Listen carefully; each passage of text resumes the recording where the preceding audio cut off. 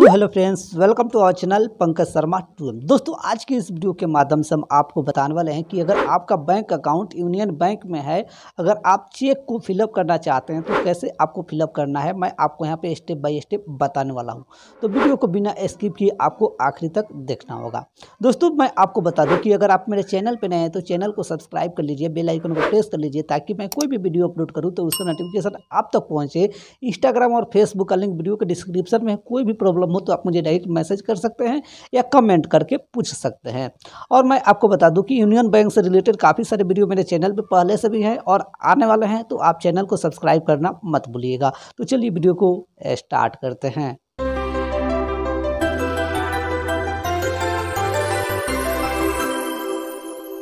चलिए प्रोसेस को स्टार्ट करते हैं और आपको बताते हैं कि यूनियन बैंक का चेक को कैसे आपको फिलअप करना है। जैसे कि आप देख सकते हैं कि यहाँ पे हमारे पास जो कि यूनियन बैंक का चेक है, इसको कैसे फिलअप करना है, आपको यहाँ पे मैं दो तरीका बताऊँगा।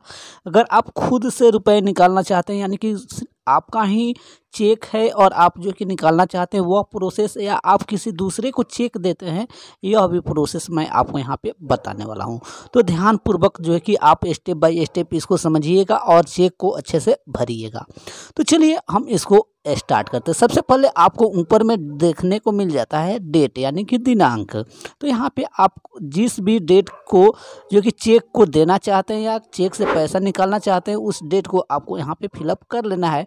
मैं आपको बता दूँ। कि यहाँ पे जो डेट आप डालिएगा, वो डेट जो कि काफ़ी समय तक मान्य रहता है, यह नहीं है कि आज आपने चेक के से पैसे निकालने के लिए डेट डाला और जो कि आज पैसा नहीं निकला तो यह चेक जो है कि बर्बाद हो गया। ऐसा नहीं है।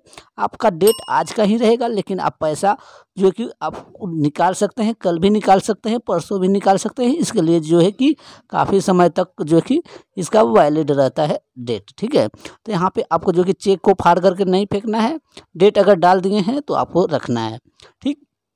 आप नेक्स्ट टाइम जो है कि जा करके निकालना चाहें तो निकाल सकते हैं, ठीक? उसके बाद अब आपको यहाँ पे पे का ऑप्शन मिलता है। तो अगर आप खुद से पैसा निकालना चाहते हैं, आपका चेक है तो आपको यहाँ पे सेल्फ लिखना है। एस ई एल एफ़ ध्यान से सुनिएगा S E L F self आपको यहाँ पे लिख देना है। उसके बाद आपको रुपए या रुपीज़ आपको देखने को मिलता है। यहाँ पे आपको क्या करना है कि सिंपल से क्या लिखना है, जितने भी रुपए निकालना है, आप यहाँ पे हिंदी में, इंग्लिश में या जो भी लैंग्वेज में लिखना चाहें, आप लिख सकते हैं। जो है कि अगर आप जो कि हिंदी में लिखना चाहें और आपको पाँच हज़ार रुपये निकालना है तो आप यहाँ पे लिखेंगे रुपए के बाद पाँच हज़ार रुपये मात्र।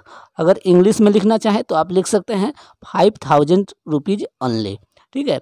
उसके बाद अब आपको यहाँ पे रुपए का सिंबल देखने को मिल जाता है। यहाँ पे आपको सिंपल से क्या करना है कि अंक में लिख देना है। ठीक? तो यहाँ पे आपको जो कि पाँच, ज़ीरो ज़ीरो ज़ीरो करके ऐस आपको डाल देना है कुछ इस प्रकार से जैसे कि आप देख सकते हैं। इतना करने के बाद अब आपको नीचे में जो कि please sign adopt this line यहाँ पे आपको देखने को मिल रहा होगा, यहाँ पे आपको अपना सिग्नेचर कर देना है। यहाँ पे आपका नाम भी देखने को मिल रहा होगा, नाम के ऊपर आपको अपना सिग्नेचर कर देना है। इस प्रकार से आप जो है कि खुद से पैसा निकालने के लिए चेक को भर सकते हैं। जैसे कि मैंने आपको बताया, अब हम यहाँ पे बताते हैं कि अगर आप किसी दूसरे को चेक देते हैं देते हैं तो कैसे देना है? तो सबसे पहले ऊपर में आपको डेट डाल लेना है, जैसे कि मैंने बताया उसके बाद आपको यहाँ पे पे के जगह पे आप जिसको भी चेक दे रहे हैं, उनका नाम लिखना है। उनसे पूछ करके किस नाम से जो कि आपको चेक चाहिए, ठीक है? तो यहाँ पे आप दे देंगे उनका नाम। जैसे कि पंकज कुमार शर्मा को आपको चेक देना है। तो पे के बाद में आपको पंकज कुमार शर्मा डाल देना है। उसके बाद आपको रुपये में कितने रुपये आप पे कर रहे हैं, आपको यहाँ पे लिख देना है। जैसे कि पाँच हज़ार, दस हज़ार जो भी है, जैसे कि मैंने आपको बताया था कि हिंदी में लिखिए या इंग्लिश में लिखिए, आप लिख सकते हैं। कुछ उस प्रकार से। उसके बाद आपको वही शब्द जो कि अंक में लिख देना है। ठीक? बस यही करना है और सिग्नेचर कर देना है। इसके पीछे भी आपको दो सिग्नेचर करना है और आप मोबाइल नंबर दे देना है अपना। ठीक? इस प्रकार से आप चेक को भर सकते हैं। जैसे कि मैंने आपको दो तरीका बताया। सेल्फ के लिए सिर्फ़ यहाँ पे चेंज किया है। आपको पे के जगह पे अगर आप खुद से निकालना चाहते हैं तो पे अगर दूसरे को देना चाहते हैं तो उनका नाम लिख देना है। तो इस प्रकार से आप यूनियन बैंक के चेक को फिलअप कर सकते हैं। जैसे कि मैंने आपको बताया। वीडियो अच्छा लगा हो तो लाइक करें कमेंट करें और चैनल को सब्सक्राइब कर लें। बेल आइकन को प्रेस कर ले ताकि मैं कोई भी वीडियो अपलोड करूँ तो उसका नोटिफिकेशन आप तक पहुँचे। यूनियन बैंक से रिलेटेड और काफ़ी सारे वीडियो मेरे चैनल पर हैं और आने वाले हैं तो चैनल को सब्सक्राइब करना ना भूलें। फिर मिलते एक नए वीडियो के साथ। जय हिंद, जय भारत।